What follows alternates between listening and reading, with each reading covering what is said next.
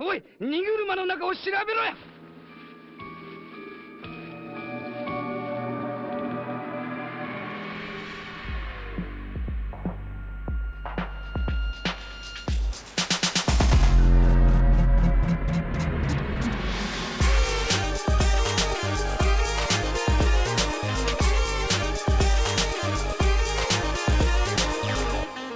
Ahoj, a jak vidíte, jsem na výhru, výhru Psychopata v Americe velmi dobře připravený, tedy to vidíte pouze v případě, že tento pořád neposloucháte pouze jako podcast a vzal jsem si na sebe tričko, které jsem dostal darem s Donaldem Trumpem. Možná, možná ho na konci tohoto pořadu rituálně spálím. Dnešní díl bude ale jen trochu o Trumpovi, protože tomu jsme se věnovali mnohem víc v našem podcastu s kolegy Honzou Bělíčkem a s Karlem Veselým, to si můžete poslechnout. A já se budu soustředit mnohem více na reakce českých politiků, respektive na jejich podporu či nepodporu Trumpa, ať už před volbami nebo po volbách. Ono totiž pravicový konzervativní miliardář, kterého masivně podpořil nejbohatší člověk na zemi, uhranul množství českých politiků a političek, včetně celých politických stran. Patří k ním třeba Václav Klaus nebo komunistka Konečná, která si možná trochu plete ultralevici a ultrapravici. SPD samozřejmě, samozřejmě hnutí miliardáře Andreje Babiše, které se snaží místní pravice rámovat co by levicové hnutí, tak určitě. No a pak také část vládních stran, což je to, co mě tady zajímá asi nejvíce, kteří o sobě tvrdí, že jsou demokratickým blokem proti populistům, jako je, jako je třeba Donald Trump. Donald Trump, odsouzený politik, který nebyl schopný uznat výsledky minulých voleb a podněcoval v podstatě státní převrat a útok na kapitol, který pozurážel kde koho a ten výčet by byl nekonečný a bylo by to na několik samostatných dílů, takže já se tomu věnovat nebudu, to už jste museli někde slyšet. Tak tenhle člověk Totiž v Česku uhranul i představitel politických stran, kteří se v Česku ohání slušností a demokratickými hodnotami. Tím je uhranul politik, který Evropu v podstatě nesnáší. Ale je samozřejmě možné, že část politiků neví, že Česká republika je v Evropě, nebo vůbec kde se na té mapě nachází. Ostatně velká část politiky v České republice je realizována a prosazována způsobem, jako bychom žili na nějaký samostatný planetě. Každopádně před volbama dělal anketu mezi českými politiky nebo europoslanci a europoslankyněmi a například Deník N a nebo i rozhlas. A je to dobře, protože si myslím, že některé ty odpovědi by měly být zaznamenány asi navždy. Budou se nám určitě v příštích čtyřech letech řádění Donalda Trumpa velmi hodit. Oj,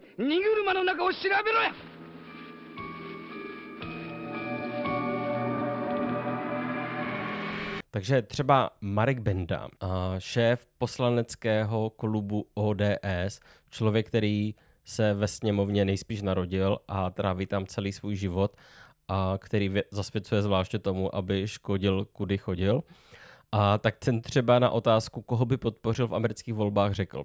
Pravděpodobně bych volil Donalda Trumpa, protože upřednostňuji republikána bez ohledu na to, co si o něm třeba osobně myslím nepochybně bude obklopen spoustou dalších lidí, kteří nebudou tak zdivočelí jako on.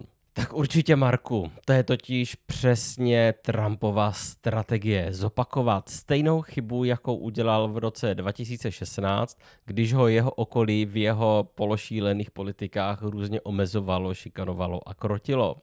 A proto už poslední léta se netají tím, že už má dopředu dobře sestavenou celou strategii, aby nedop- nenaletěl stejně jako minule. A co se týče lidí okolo něj, tak ti třeba propagují věci typu Agenda 47 nebo Projekt 2025 kdy ten druhý už byl natolik extremistický, že v kampani raději Trump tvrdil, že vůbec neví, o co se jedná. Tyto dokumenty představí manuál, jak ovládnout a demontovat celou americkou demokracii. Jak udělat ze Spojených států regulérní autoritářský stát, aby v něm už, abych připomněl jiný Trumpův výrok, další volby vlastně se ani nemuseli konat. Podle projektu 25, který má 900 stran, takže si ho můžete klidně nastudovat, a má strana po volbách převzít kontrolu například nad ministerstvem spravedlnosti, FBI, ministerstvem obchodu, masivně zvýšit prezidentské pravomoci, omezit ochranu životního prostředí, a zcela se vrátit k fosilním palivům, posílit masivně policejní složky, zahájit okamžitě deportace atd. atd. Ten výčet je nekonečný. A stojí za ním konzervativní think tank Heritage Foundation. Nicméně určitě, jak říká Marek Benda, Trump se obklopí dobrými lidmi a dobře to dopadne. Třeba jako se obklopil svým viceprezidentem a Vencem, což je v mnoha ohledech větší extremista než samotný Trump. Určitě Marka Bendu a možná nejen jeho překvapí, a že jestli něco Vence nesnáší, tak je to podpora Ukrajiny. Tu by zastavil okamžitě a ostatně teď k tomu od ledna dostane příležitost. Ostatně už v únoru letošního roku bojoval v americkém senátu proti zákonu na podporu Ukrajiny. Z uniklých dokumentů také vyplývaly jeho slova, jako například, že ho Ukrajina vůbec nezajímá a že by Ukrajincům ani nezvedl telefon. Ve skutečnosti můžeme spíše doufat, že Trump bude krotit svého viceprezidenta. Ale proč by se pro boha takovými detaily měl trápit člověk, jako je Marek Benda? Když si prostě vystačí s tím, že má rád republikány. A Benda by podporoval republikány a jejich kandidáta, i kdyby navrhoval třeba třeba vybombardovat Česko, protože by mohl jako zase jiní politici, nejen ODS, tvrdit, že by to byl důležitý budíček pro Česko a že by nám to vlastně pomohlo.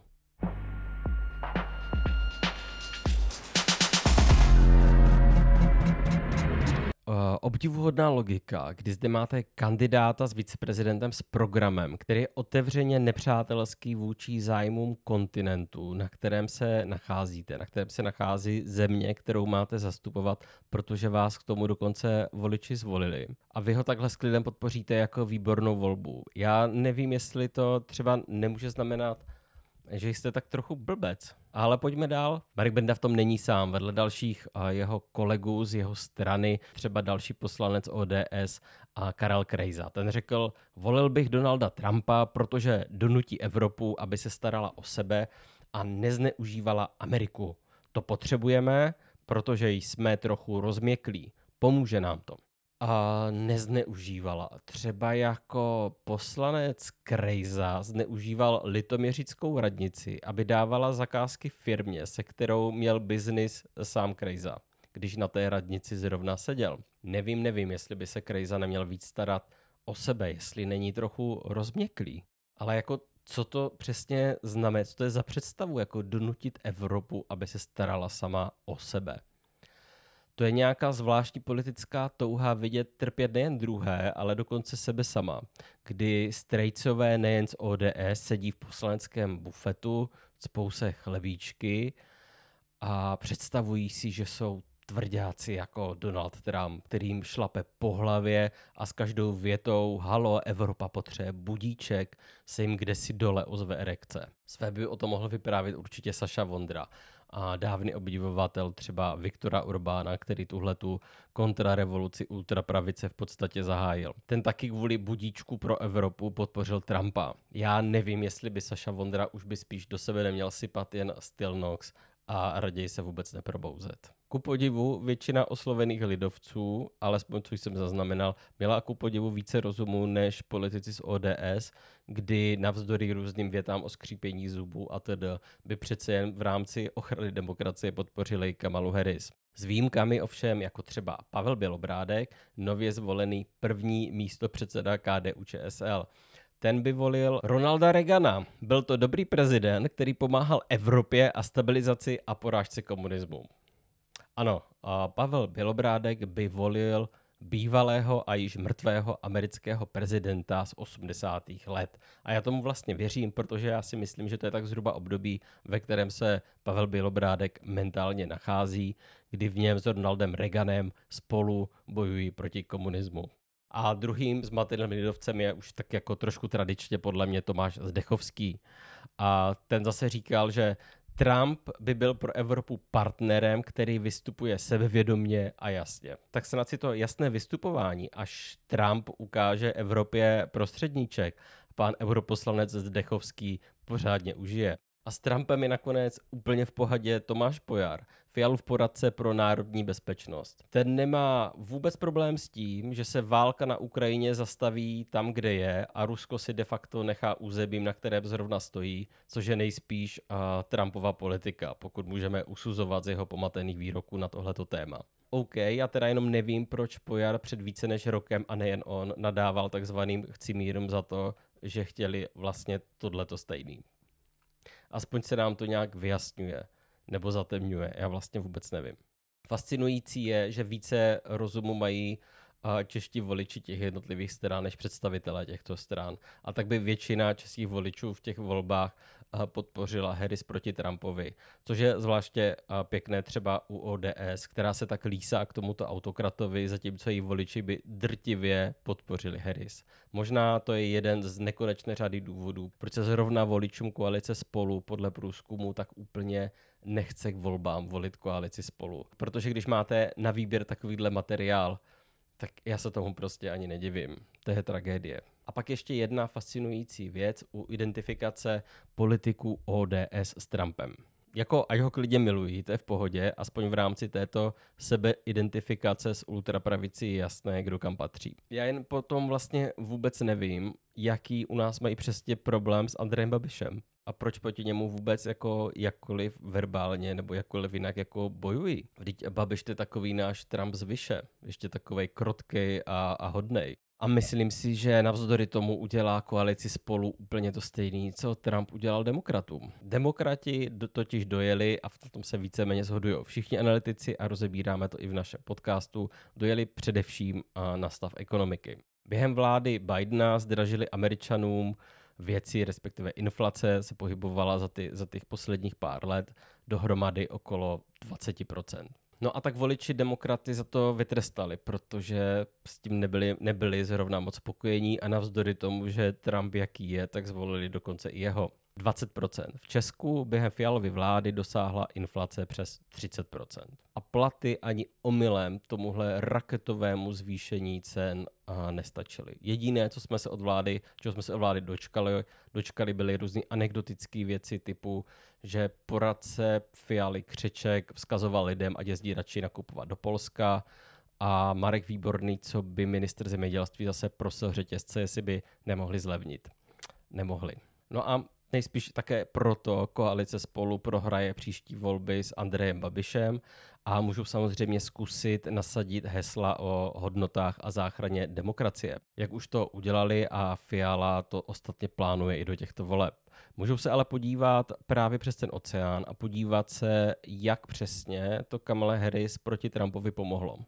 Ale to by nejdřív koalice demokratických stran obdivně se lísajících Trumpovi musela pochopit, že to oni budou další obětí této politiky, která se momentálně šíří světem. A že z jeho vítězství, kterému oni tleskají, nebudou, nebudou těžit oni, ale lidé jako Babiš anebo SPD. No a může to vést třeba a dokonce i k tomu, nechci strašit, že ale že si Marek Benda bude muset třeba po příštích volbách poprvé v životě hledat nějakou práci. No tak snad to bude alespoň důležitý budíček pro Marka Bendu. おい荷車の中を調べろや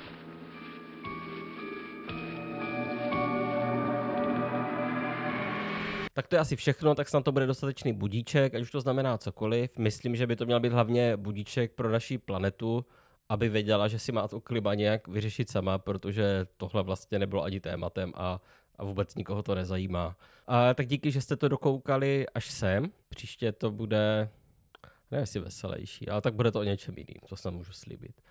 A tak díky moc. A pokud jste to ještě neudělali, tak se zvažte podporu Alarmu, protože, jak asi víte, nebo možná ještě nevíte, tak Maruna má pořád hlad, byť Maruna. A musí také žít na planetě, a který bude vládnout Donald Trump. Maruna, tak to pro tebe musí být budíček, dělej s tím něco. Myslím si, že je větší šance, že s tím něco udělá ten pes, než kdokoliv jiný.